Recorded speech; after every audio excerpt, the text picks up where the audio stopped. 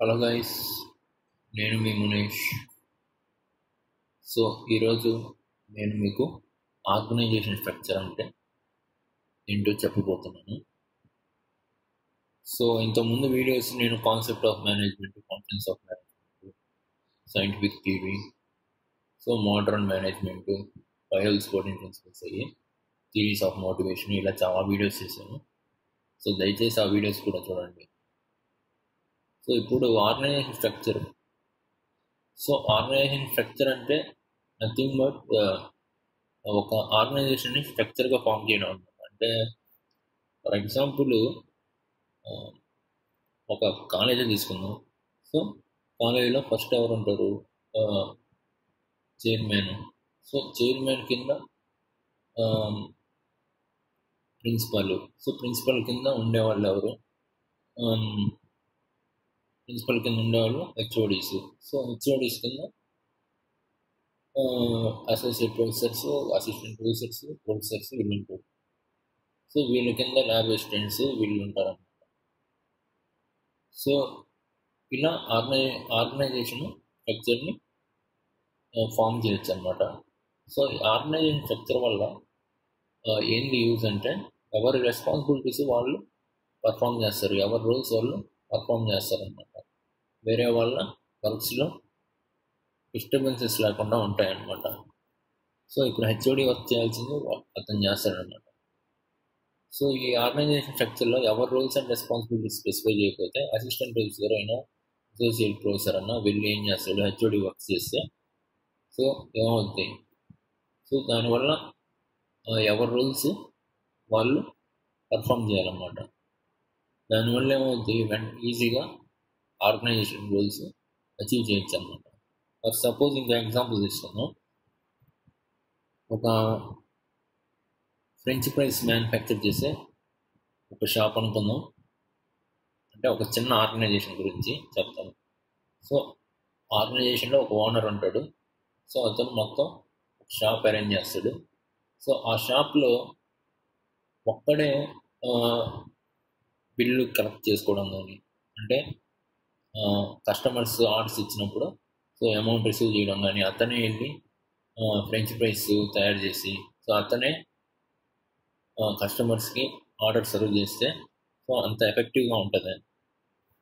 So ఉండదు కాబట్టి so ఒక ఏ అనే పర్సన్ని రిక్రూట్ చేసుకుంటారు అనమాట అతను ఏం చేస్తారంటే ఎవరైనా కస్టమర్స్ వచ్చినప్పుడు వాళ్ళ దగ్గర ఆర్డర్స్ తీసుకొని సో ఇంకో బి అనే పర్సన్ దగ్గర ఆ ఆర్డర్ ఇస్తారనమాట. సో అంటే కుకింగ్ సెక్షన్కి అప్పు చెప్తారనమాట ఆ కుకింగ్ సెక్షన్లో ఏం చేస్తాడు? ఫ్రెంచ్ ఫ్రైస్ని తయారు చేసి సో అతను ఏం చేస్తాడు? సి అనే వ్యక్తి అంటే సి అంటే అతను ఎవరు? వెయిటర్ అనుకుంటాడు సో ఆ వెయిటర్ ఆ వెయిటర్ కస్టమర్కి సర్వ్ చేస్తాడనమాట. సో ఈ విధంగా ఎవరెవరు రెస్పాన్సిబిలిటీస్ని వాళ్ళకి ఫిక్స్ చేయడం వల్ల ఓనర్కి ఏమవుతుంది? అతను అనుకున్న ఫ్రెంచ్ ప్రైస్ని కస్టమర్స్కి డెలివరీ చేస్తున్నాడు అనమాట ఈ విధంగా అతను ప్రాఫిట్స్ ఎర్న్ చేయొచ్చు అనమాట సో ఈ విధంగా ఎవరెవరి రెస్పాన్సిబిలిటీస్ వాళ్ళు ఫిక్స్ చేయడం వల్ల ఆర్గనైజేషన్ స్మూత్గా రన్ అవుద్ది అనమాట అతని షాపు స్మూత్గా రన్ అవుద్ది అనమాట సో ఇలానే కంపెనీస్లో కూడా డిఫరెంట్ డిపార్ట్మెంట్స్ ఉంటాయి అనమాట సో మార్కెటింగ్ చేసేదానికి ఒక డిపార్ట్మెంట్ ప్రొడక్షన్ చేసేదానికి ఒక డిపార్ట్మెంట్ ఫైనాన్స్ యాక్టివిటీకి సంబంధించిన ఒక డిపార్ట్మెంట్ హెచ్ఆర్కి సంబంధించిన ఒక డిపార్ట్మెంట్. సో ఈ విధంగా చాలా డిపార్ట్మెంట్స్ ఉంటాయి. సో ఆ డిపార్ట్మెంట్ చేయాల్సిన వర్క్స్ ఆ డిపార్ట్మెంట్ చేస్తాయి అనమాట ఈ విధంగా ఏమవుతుందంటే కంపెనీస్ స్మూత్గా ఫంక్షన్ అవుతాయి అన్నమాట without any disturbances.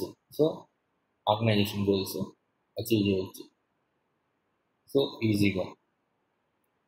సో మనకు టూ ఆర్గనైజేషన్ స్ట్రక్చర్స్ ఉంటాయి జనరల్గా so functional organisation structure so ఇంకోటి ఏంది డివిజనల్ ఆర్గనైజేషన్ స్ట్రక్చర్ అనమాట సో ఫంక్షనల్ ఆర్గనైజేషన్ స్ట్రక్చర్ అంటే నథింగ్ బట్ ఇందా చెప్పాను కదా.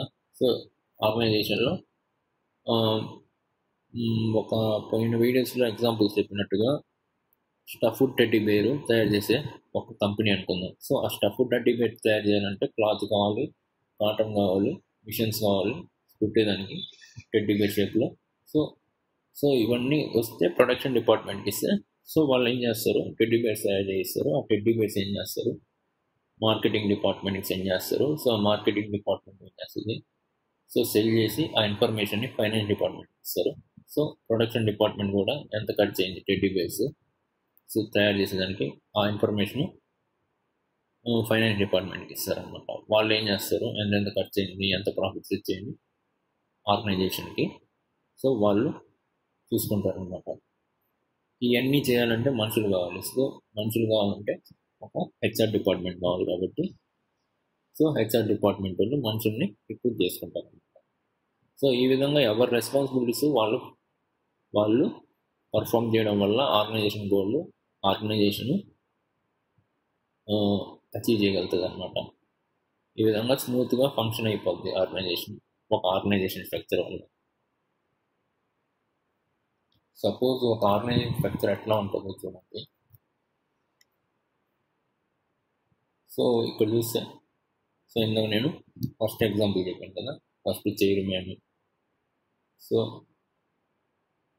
so chairman కింద ప్రిన్సిపల్ ప్రిన్సిపల్ కింద హెచ్ఓడీస్ హెచ్ఓడీస్ కింద అసిస్టెంట్ ప్రొఫెసర్లు అట్లా ఉంటుంది సో అదే కంపెనీకి వస్తే so board of directors so CEOs so ఈ విధంగా టాప్ మేనేజ్మెంట్ వస్తుంది నెక్స్ట్ సీనియర్ లెవెల్ మేనేజర్స్ వాళ్ళందరూ టాప్ మేనేజర్స్ టాప్ మేనేజ్మెంట్ వస్తుంది అనమాట సో వీళ్ళెవరు so different department managers so వీళ్ళ కింద ఉండేవాళ్ళు సూపర్వైజర్స్ సో వాళ్ళ కింద ఉండేవాళ్ళు వర్కర్స్ సో ఈ విధంగా త్రీ లెవెల్స్ ఉంటాయని మీకు ముందరగానే వీడియోస్లో చెప్తున్నా. Top level mid level bottom level so ఈ విధంగా ఉంటాయన్నమాట ఆర్గనైజేషన్ స్ట్రక్చర్లు సో డిపార్ట్మెంట్ని బేస్ చేసుకొని డివైడ్ అయితే ఆర్ ఆర్గనైజేషన్ స్ట్రక్చర్నే ఉంటారు అంటే ఫంక్షన్స్ని బేస్ చేసుకొని డివైడ్ అయితే ఆర్గనైజేషన్స్ ఉంటారు ఫంక్షనల్ ఆర్గనైజేషన్ అంటారు. అంటే marketing finance HR purchase sales ఈ విధంగా డిఫరెంట్ డిపార్ట్మెంట్స్ని బేస్ చేసుకొని డిఫరెంట్ ఫంక్షన్స్ని బేస్ చేసుకొని డివైడ్ అయితే దాన్ని ఫంక్షనల్ ఆర్గనైజేషన్ అంటారు. ఆర్గనైజేషన్ స్ట్రక్చర్ అంటారు. సో ఇంకోటి ఏంటంటే కామన్గా డివిజనల్ ఆర్గనైజేషన్ స్ట్రక్చర్ అంటారు. సో రిలయన్స్ అనేవాడు సో టెలికమ్యూనికేషన్స్లో ఉన్నాడు పెట్రోలియంలో ఉన్నాడు సో రీటైల్ మార్కెట్లో ఉన్నాడు. సో ఈ విధంగా చాలా మార్కెట్స్లో అతను ఉన్నాడు. సో ఒక్కొక్క మార్కెట్ అంటే ఇక్కడ ప్రోడక్ట్ని బట్టి ప్రోడక్ట్ని బేస్ చేసుకొని ఆర్గనైజేషన్ ఆర్గనైజేషన్ స్ట్రక్చర్ ఫామ్ చేయవచ్చు అన్నమాట. సో ఒక ప్రోడక్ట్ ఇప్పుడు టెలికామ్లో మార్కెటింగ్ మేనేజర్లు ఉంటారు ఫైనాన్స్ మేనేజర్స్ ఉంటారు హెచ్ఆర్ మేనేజర్స్ ఉంటారు. సో అట్లానే రీటైల్ మార్కెట్ని తీసుకునేదానికి ఒక ఫైనాన్స్ మేనేజర్లు ఉంటారు. సో ఒక మార్కెటింగ్ ఉంటారు ఒక హెచ్ఆర్ మేనేజర్స్ ఉంటారు. సో ప్రొడక్షన్ మేనేజర్స్ వీళ్ళందరూ ఉంటారు అనమాట సో ఇలా ప్రతి ఒక్క ప్రోడక్ట్ కింద డిఫరెంట్ టైప్స్ ఆఫ్ డిపార్ట్మెంట్స్ ఉంటాయి సో ఇలా ప్రోడక్ట్ని బేస్ చేసుకొని క్లాసిఫై చేయబడితే దాన్ని డివిజనల్ ఆర్గనైజేషన్ స్ట్రక్చర్ అంటారు. సో ఇది ఆర్గనైజేషన్ స్ట్రక్చర్ గురించి ఇన్ఫర్మేషను